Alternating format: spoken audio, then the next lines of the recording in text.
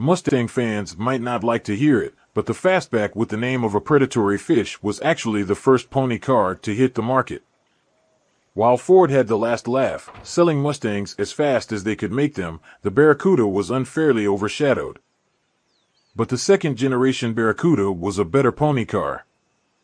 Its sleeker sheet metal didn't share any panels with lesser Valiants, and there were even more go-fast choices to be had in the enlarged engine compartment.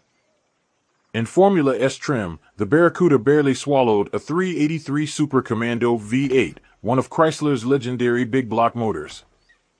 While details such as the menacing Barracuda emblem on the rear panel and a characteristic split front grille make it one of the more interesting looking pony cars ever made. It's the fastback profile and Mopar muscle that distinguishes the Barracuda from the competition.